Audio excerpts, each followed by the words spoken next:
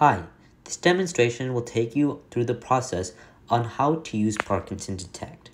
So first of all, I'll open up my browser and then I'll type Parkinson hyphen detect dot weebly dot com and this will take me directly to the Parkinson Detect website. When I reach there, I'm going to click on simulation. Here we have a procedure of steps to follow. First, you'll need to print the test page, which is simply a black square in, on a piece of paper. Then, you're going to want to draw a spiral according to the instructions here. Finally, you're going to want to upload and see the results of your spiral test. So once it loads, I'm going to go ahead and open this in a new tab.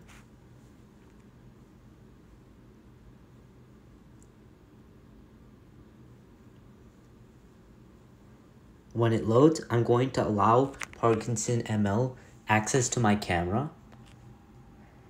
Then I'm going to take a picture of my spiral, like so. When I take a picture, you can see the square detection algorithm can automatically detect the spiral within the square. It also extracts the correct spiral, the correct image, and it tells me that I do not have Parkinson's disease by running the machine learning model on this output image. Thank you.